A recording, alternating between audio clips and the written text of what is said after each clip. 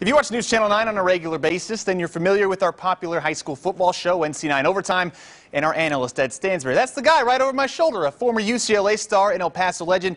Well, Ed, my man, you might be the second most famous person in your family after New Mexico, New Mexico State's announcement today. The Aggies named junior college transfer Matt Romero as their starting quarterback for the season opener against Wyoming. Romero is Ed's nephew. He's a dual threat who threw for almost 3,000 yards a year ago in junior college, and that's why he gives NMSU the best chance to win.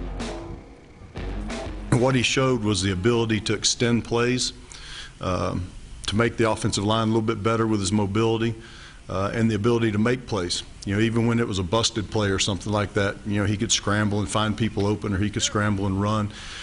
so while he was learning the offense, he was already doing those things, and he was not turning the ball over. He's very versatile. You know, he, he's going to make plays happen. He's going to extend plays for the offense, and I really like that. You know, I like a quarterback that can make plays happen when nothing's there, when everything breaks down. Romero beats out senior Nick Jeanty for the job. Jeanty will be the backup. Romero will get a big test with the Wyoming Cowboys. Their defense has five potential NFL talents, according to Doug Martin. It's an 8 p.m. kickoff Saturday on ESPN2.